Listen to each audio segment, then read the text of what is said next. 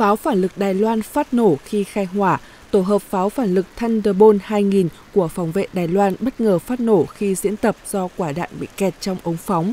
Lực lượng phòng vệ Đài Loan cho biết vụ nổ xảy ra khi tổ hợp Thunderbolt 2000 khai hỏa trong diễn tập bắn đạn thật ở thao trường gần Mãn Châu, huyện Bình Đông, phía nam hòn đảo.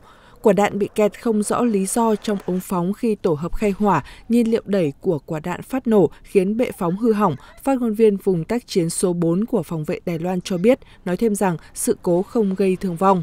Truyền thông Đài Loan đưa tin dân địa phương đã nghe thấy tiếng nổ lớn và khói bốc lên từ nơi diễn tập. Lực lượng phòng vệ của hòn đảo sau đó đình chỉ mọi hoạt động diễn tập tại khu vực.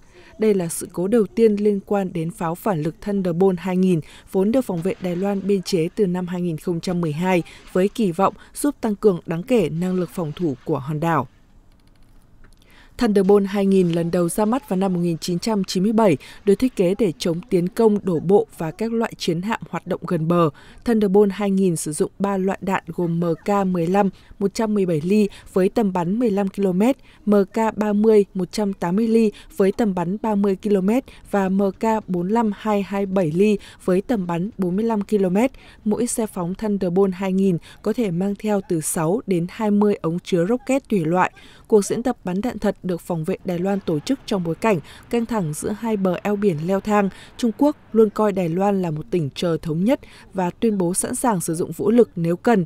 Quân đội Trung Quốc gần đây tổ chức nhiều cuộc diễn tập quanh đảo Đài Loan, đồng thời điều máy bay quân sự áp sát hòn đảo với số lượng kỷ lục.